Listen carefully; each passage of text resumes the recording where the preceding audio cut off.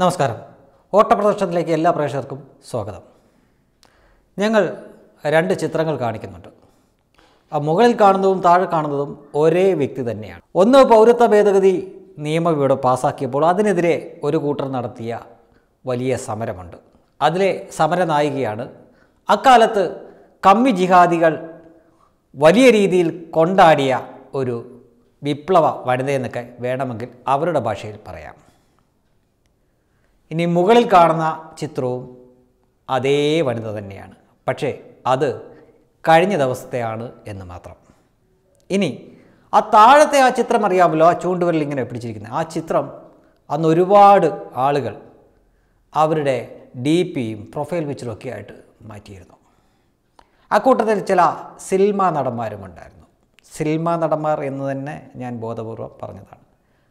പൃഥ്വിരാജ് സുകുമാരനെ പോലെയുള്ളവർ അന്ന് അദ്ദേഹം ഇട്ടിരുന്നത് revolution is home ground always rise എന്നൊക്കെ പറഞ്ഞിട്ടായിരുന്നു. പൃഥ്വിരാജ് അങ്ങനെ കാണിച്ചു.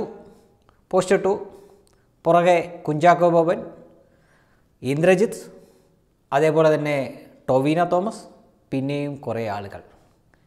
എന്താ നടന്മാരെ നിങ്ങളൊക്കെ വെള്ളിത്തിരയിലെ സൂപ്പർ താരങ്ങളല്ലേ? ഇപ്പോൾ എന്തുകൊണ്ടാണ് ഇതേപോലെ ഒരു പോസ്റ്റ് ഇടാൻ നിങ്ങൾക്ക് തോന്നാഞ്ഞത്? അന്ന് പൗരത്വ ഭേദഗതി നിയമത്തിനെതിരെ അവർ വലിയ രീതിയിൽ സമരം ചെയ്തപ്പോൾ അവർക്ക് പിന്തുണയുമായി ഇതേപോലെ ഒരു പോസ്റ്റ് നിങ്ങൾ എന്തുകൊണ്ട് ഇപ്പോൾ പിണറായിയുടെ പോലീസിനെതിരെ അല്ലെങ്കിൽ പിണറായിയുടെ നയത്തിനെതിരെ ഇങ്ങനെ ഒരു പോസ്റ്റ് ഇടാൻ ശ്രമിച്ചില്ല? നിങ്ങൾ ജീവനോടെ ഉണ്ടോ? കേരളത്തിൽ തന്നെ ഉണ്ടോ? ഇന്ത്യയിൽ തന്നെ ഉണ്ടോ? അതോ നാട് വിട്ടോ? അതോ നിങ്ങളുടെ പ്രതികരണവും വൺ സൈഡ് ട്രാഫിക് മാത്രമാണോ? നിങ്ങൾക്ക് എന്നാണ് നട്ടെല്ല് നിവർന്ന് നിന്ന് ആണുങ്ങളെ പോലെ പ്രതികരിക്കാൻ പഠിക്കുന്നത് ഏറ്റവും മാന്യമായ രീതിയിലാണ് ചോദിക്കുന്നത്. ഇത് രണ്ടും ഒരേ ആളാണ്. ഇവിടെ ഈ കേരളത്തിൽ അവരുടെ തട്ടത്തിൽ കുത്തിപ്പിടിച്ചാണ് ആ പോലീസുകാർ വലിച്ചുകൊണ്ട് പോകുന്നത് എന്ന് ഓർക്കണം. അങ്ങ് ഡൽഹിയിൽ അവരെ ആരും കൈവെക്കുന്നൊന്നുമില്ല. അവർ വേറെ ചില പുരുഷ സുഹൃത്തുക്കളെ രക്ഷിക്കാൻ വേണ്ടി ഇവരുടെ പാവാടയ്ക്ക് പിന്നിൽ ഒളിപ്പിച്ച് നിർത്തി പോലീസിന്റെ നേരെ കൈ ചൂണ്ടുകയാണ് ഉണ്ടായത്. അല്ലാതെ പോലീസ് അവരെ തല്ലിയില്ല തൊട്ടില്ല. ഇവിടെ പക്ഷേ കേരള പോലീസിലെ വനിത വനിതാ പോലീസുകാരി അവരുടെ ദാ ഇവിടെയാണ് പിടിച്ചു വലിച്ചു കൊണ്ടുപോകുന്നത്. ഇവരവിടെ ദേശീയപാതയിൽ പ്രതിഷേധിക്കുകയായിരുന്നു. തീർച്ചയായിട്ടും ദേശീയപാത തടസ്സപ്പെടുത്തിക്കൊണ്ടുള്ള പ്രതിഷേധം അനുവദിച്ചുകൂടാ ഏത് സംസ്ഥാനത്താണേലും. പോലീസ് ആദ്യം പറയും പറഞ്ഞാൽ കേട്ടില്ലെങ്കിൽ അവർ അടിക്കും. അത് തന്നെയാണ് അവിടെ സംഭവിച്ചത്. ഈ സ്ത്രീക്ക് നല്ല വൃത്തിയായിട്ട് കിട്ടി. കൂട്ടത്തിലുള്ളവരൊക്കെ ചെതറി ഓടുകയും ചെയ്തു. ഫ്രെട്ടേണിറ്റി എന്നോ മറ്റോ ഒക്കെയാണ് അവരുടെ സംഘടനയുടെ പേര് സംഭവം എന്തെന്ന് വെച്ചാൽ യു പിയിൽ കലാപം ഉണ്ടാക്കിയവരുടെ നേതാവിന്റെ അനധികൃതമായിട്ടുള്ള കെട്ടിടം യു പി പോലീസ് ബുൾഡോസർ വെച്ച് തകർത്ത് തരിപ്പണമാക്കി. അതിനെതിരെ ഇവിടെ പ്രതിഷേധിക്കുകയാണ് ചെയ്തത് ഇവിടെ ആവശ്യത്തിൽ കൂടുതൽ പ്രതിഷേധം ഇപ്പോൾ തന്നെ നടക്കുന്നുണ്ട് മുഖ്യമന്ത്രിക്കെതിരെ. ആ കൂട്ടത്തിൽ ദേശീയപാതയുടെ മുഴുവനായി തടഞ്ഞുകൊണ്ടാണ് പ്രതിഷേധം ഉണ്ടായത്. ഒരു ദാക്ഷിണ്യം ഇല്ലായിരുന്നു ഒരു മയവും ഇല്ലായിരുന്നു ഒരു ദയയില്ലായിരുന്നു പോലീസുകാർ കണ്ണി കണ്ടവരെല്ലാം അടിച്ചോടിച്ചു ആ കൂട്ടത്തിലുള്ള ഒരു ചിത്രമാണിത്.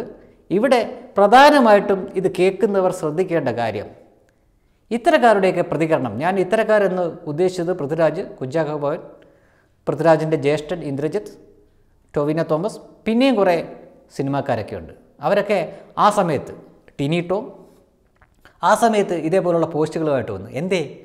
പിണറായിക്കെതിരെ പിണറായി പോലീസിനെതിരെ ഒരു വാക്ക്. ഒരു പോസ്റ്റ് മുഴുവനായിട്ട് ഇടണ്ട. ഒരു വാക്കെങ്കിലും പറയാനുള്ള നട്ടലിനുറപ്പ് നിങ്ങൾക്കില്ല അല്ലേ? നിങ്ങളൊക്കെ ഇത്രയേ ഉള്ളൂ. ഇനി ഇതാ വേറൊരു ധീര വനിതയാണ് നിങ്ങളിപ്പോൾ ഈ ചിത്രത്തിൽ കാണുന്നത്. ഇവരുടെ പേര് അഫ്രീൻ ഫാത്തിമ എന്നാണ്.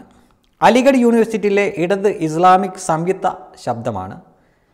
ഈ വനിതാരത്നവും പൗരത്വ ഭേദഗതി നിയമത്തിനെതിരെ പോരാടിയ അല്ലെങ്കിൽ അന്ന് കലാപത്തിലൊക്കെ ഉണ്ടായിരുന്ന ആ സ്ത്രീ തന്നെയാണ്. ഇവരുടെ ചിത്രവും ഞാൻ നേരത്തെ പറഞ്ഞതുപോലുള്ള ആ വനിതയുടെ ചിത്രത്തിനൊപ്പം തന്നെ പലരും ഡി പി ആക്കുകയും പ്രൊഫൈലാക്കുകയൊക്കെ ചെയ്തിട്ടുള്ളതാണ്. ഇവരുടെ പിതാവിന്റെ പേര് മുഹമ്മദ് ജാവേദ് എന്നാണ്. ഇദ്ദേഹത്തിന്റെ വരുമാന മാർഗം എന്താണെന്ന് ഇതുവരെ ആർക്കും അറിയില്ല. മൂന്ന് നിലയുള്ള കൊട്ടാരം പോലെയുള്ള ഒരു വീടുണ്ട്.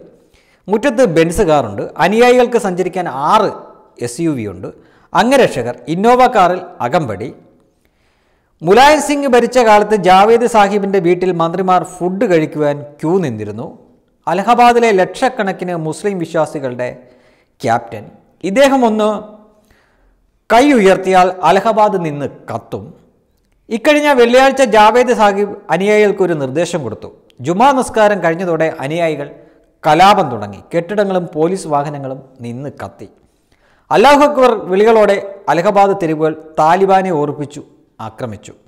പക്ഷേ ഉത്തർപ്രദേശ് ഭരിക്കുന്നത് മുലായം സിംഗ് അല്ലാതെയായിപ്പോയി. അത് ഭരിക്കുന്നത് യോഗി ആദിത്യനാഥാണ്.